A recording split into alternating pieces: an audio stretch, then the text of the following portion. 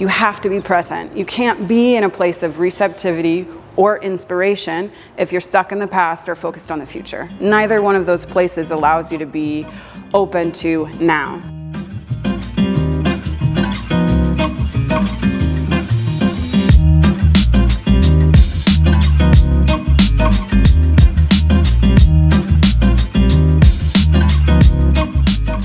Wanted to create a workshop that helps people not just execute well, execute a skill well, but say something more intimate, personal, and expressive about who they are.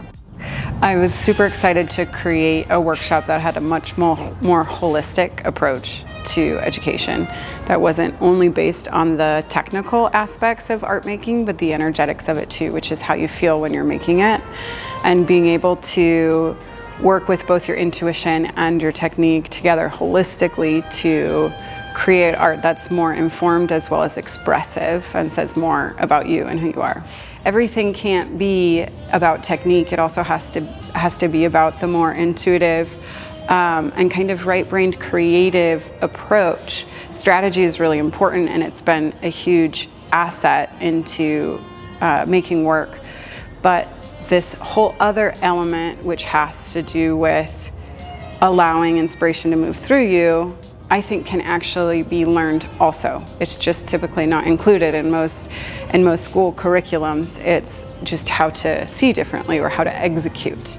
I feel like what I've noticed is people having the capacity to give themselves a lot more permission to experience whatever's coming up and, and work with it and try out new things and move through it more gently and with, with more joy than perhaps previously.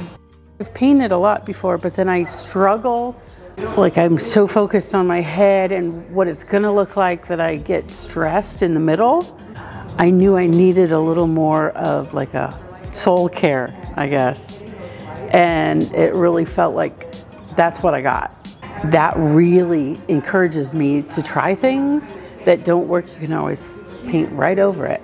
And that's okay. Versus before, I'm like, oh, I just am making a mess. I'm starting over on another painting. So those layers might peek through or they might be completely gone, but it was an experience more than a finished product. The journey versus the destination. And that, that really helped me a lot. You're gonna break it down so you can see patterns of light and shadow and come up with good contrasting tonal range all of that has to be done from a space of appreciation for what's already there.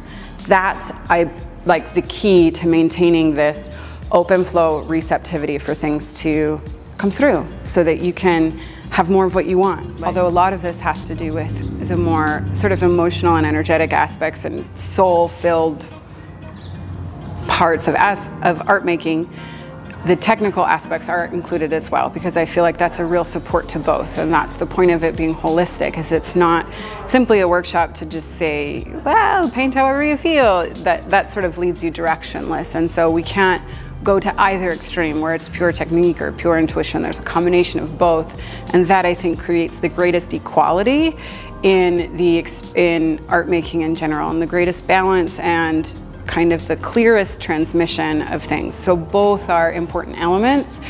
They're just usually not both talked about with equal importance. So this workshop, I like to provide equal importance to both parts and in a more balanced, holistic approach. Might not like what's showing up initially, but if you continue to let go and stay present to the now, because all of it is about being in this very present moment, not remembering what the painting looked like last time or what it might look like later, you know, or how you want it to look.